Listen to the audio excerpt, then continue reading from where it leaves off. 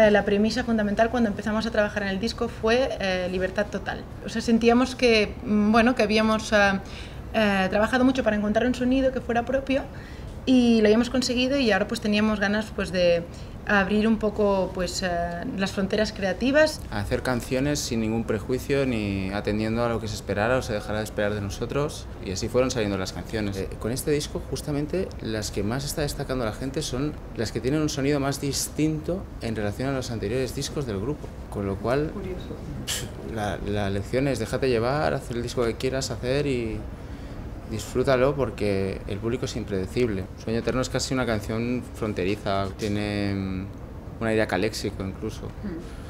En otras, otras canciones, como Los amigos que perdí o Tristeza, habrían salido igual si nunca hubiéramos ido a México.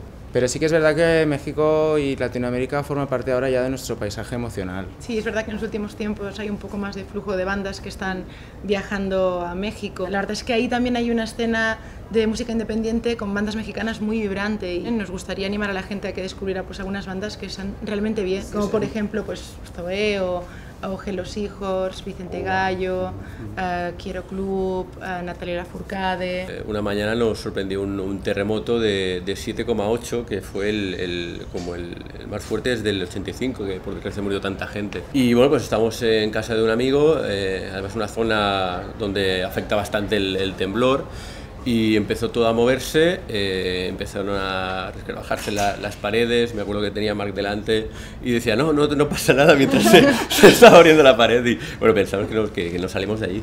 Una experiencia además que no podías hacer nada, ¿no? Era, era estabas en manos de la naturaleza. El mundo tal como está montado no nos gusta, ni, ni los que mandan, ni, ni el orden estructural actual de la sociedad. Pero muchos de estos títulos engañan, porque por ejemplo, Los amigos que perdí es una canción antinostalgia. Uh -huh. Es todo lo contrario de lo que parece.